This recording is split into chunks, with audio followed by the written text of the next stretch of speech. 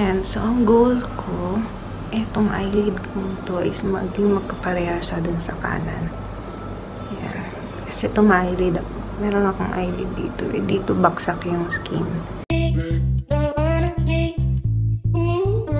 there! Welcome back to my channel. So, hindi ko na patatagalin. Kung napapansin nyo at ako'y naka-shades dito sa loob ng bahay dahil po meron akong ginawang treatment sa aking eyelids. Okay, kakauwi ko lang actually. Ang treatment po na ito is para magpantay po ang aking eyelids dahil yung right eyelid ko is an, ano, droopy siya. So itong treatment na to ginagawa to na mostly ano eh mga Asian din eh kasi lalo na yung mga Asian ano mga singkit na singkit. Okay. Ang tawag dito ay Plexir. Okay, itong Plexir treatment, eh, ginagamitan siya ng, ang gamit niya is yung plasma pin. Okay, laser siya. So, it's a non-surgical treatment.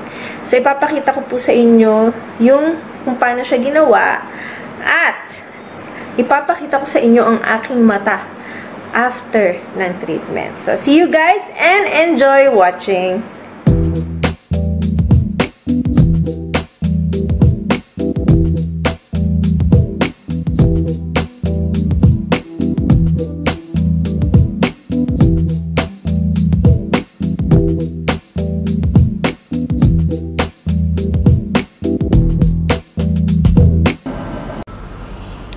Yan. So, ang goal ko, etong eyelid ko to is maging magkapareha siya dun sa kanan. Yan. Kasi itong eyelid, meron akong eyelid dito. Eh, dito baksak yung skin. So, ang goal ko is maging magkapareha sila.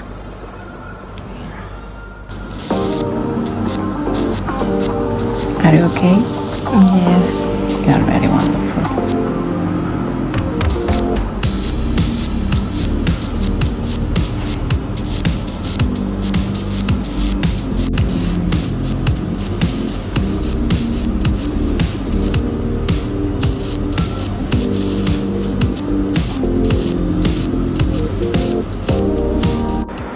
So, ayun na. Napanood nyo na, di ba?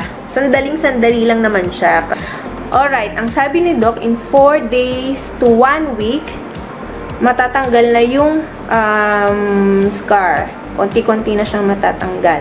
So, ito po ang itsura niya. Ipapakita ko na. So, nagpa-treatment ako. Sandaling-sandali lang niya ginawa eh. In 10 minutes, tapos na. Ha? Ayan po ang itsura niya. Yan. Hmm. Ayan, 'di ba? Yan yung ni-laser. So, namumula pa siya para siyang namamaga. Okay, kung nakikita nyo, ba? Drooping-drooping yung right side ko. Ayan. Okay. Yan. Yan po. So, pag nag-heal na siya, agad na siya. Papantay na siya dito sa kabila. So, meron din silang iba-ibang treatment. Okay? Lahat ng pagpaganda, meron sila. So, ilalagay ko na lang yung link sa description box. So, that's all, guys. See you guys. Thank you for watching. And please don't forget to like and subscribe. Bye!